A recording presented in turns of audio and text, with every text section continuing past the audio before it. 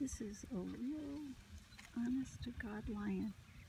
Just walking by us, minding his own business. Now, this is the front of our truck, so you see how close he is.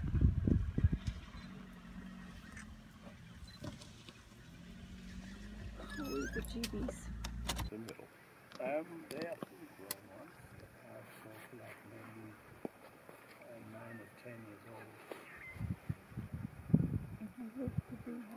Uh, males